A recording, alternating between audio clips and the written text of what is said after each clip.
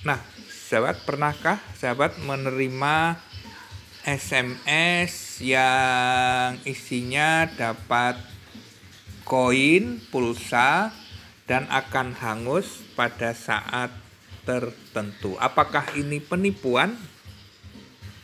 Bisa dibilang iya, bisa tidak. Artinya e, lebih tepatnya mungkin penjebakan. Jadi kita akan dijebak untuk mengikuti langganan SMS premium.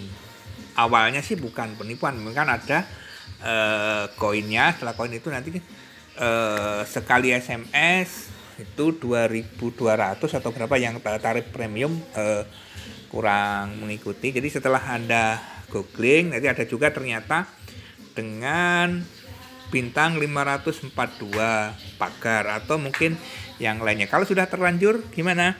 Jadi bisa dengan menekan tombol lagi lalu pilihannya stop atau apa untuk menghentikan. Kalaupun tidak mungkin nanti selama tiga bulan atau pulsa kita habis ya, ya sudah eh, dia kita akan langganan itu akan berhenti.